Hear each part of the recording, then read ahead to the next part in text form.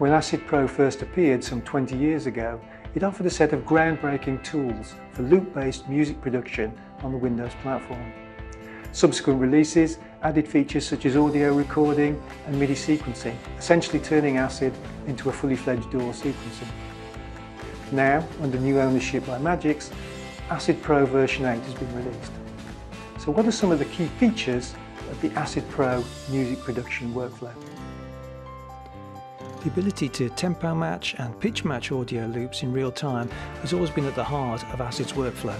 Loops can be auditioned within the Explorer pane and then simply dragged and dropped onto the timeline and extended out as required for the arrangement. Tempo and pitch change events can be added globally to the timeline and individual clips can also be pitch shifted.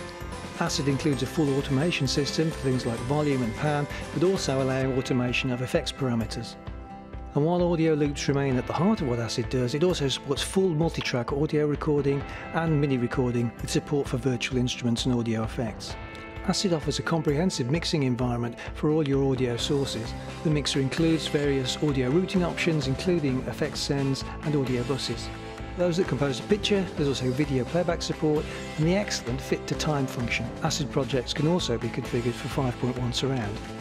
ACID also includes a groove-based audio quantize feature. Grooves can be simply dragged and dropped to clips, but equally you can also paint a groove onto a, an audio clip or extract a groove from one clip and apply it to others within your project.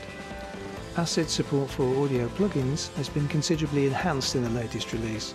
The Essential Effects Suite provides a core of dynamics, EQ, reverb, delay, modulation and saturation effects, while the Vandal plugin provides plenty of options for shaping guitar tones. If you opt for the subscription model of ACID, then you also get the Analog Modeling Suite. This gives you four additional plugins uh, based upon classic analog hardware.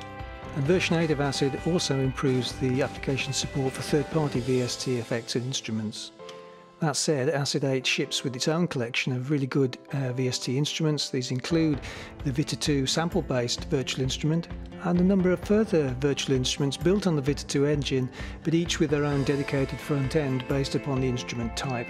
And version 8 also ships with the DN-e1 virtual analog synth, while the feature set is rounded out by 9GB of new acidized loops and samples spanning a range of musical styles. For the Windows-based musician, Acid is still, of course, a fabulous tool for loop-based music production. For existing users, the range of new features and improvements are bound to make the upgrade a tempting proposition. And for potential new users, Acid Pro 8 is a great starting point for those looking for a complete music production system. For full details on pricing, whether it's upgrades, a one-off purchase or the subscription model, you can see the Magix website, where you can also download a free trial.